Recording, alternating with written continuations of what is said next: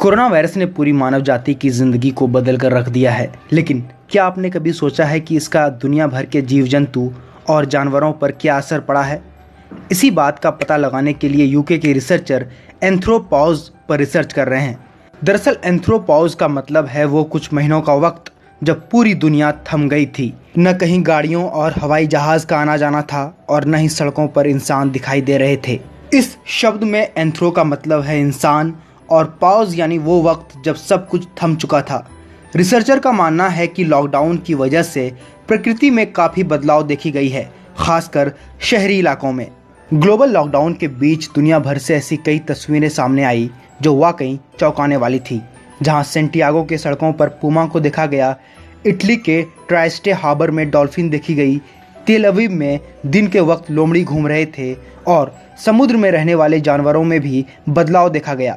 इन सब के पीछे अचानक पॉल्यूशन लेवल में आई गिरावट को ही एक बड़ा आधार माना जा रहा है।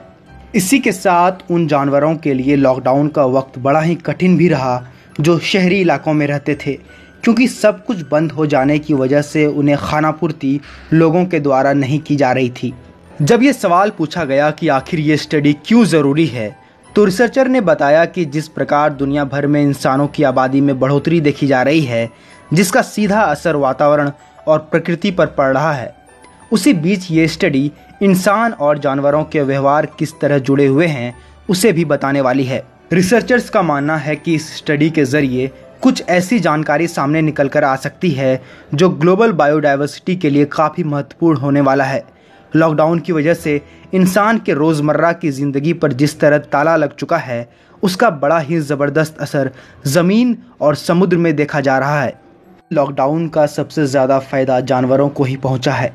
यूनिवर्सिटी ऑफ़ सेंट एंड्रयूज़ में इंटरनेशनल बायोलॉगिंग सोसाइटी के प्रेसिडेंट प्रोफेसर क्रिश्चियन रड्स ने बताया कि रिसर्चर ने बायोलॉगर नामक एक छोटे से ट्रैकिंग मशीन को जानवरों पर लगाया था, जिससे उनके मूवमेंट और बिहेवियर का पता चल सके और महामारी के बीच पूरी दुनिया से हमारे सामने ऐसी कई दुर्लभ जानकारियाँ सामने आ रही है।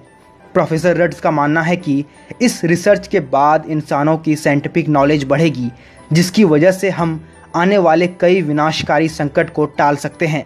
उन्होंने ये भी कहा कि ये रिसर्च हमें ये भी बताएगा कि इंसान और जानवरों के बीच किस तरह और कितनी दूरी बनाकर रखने की ज़रूरत है।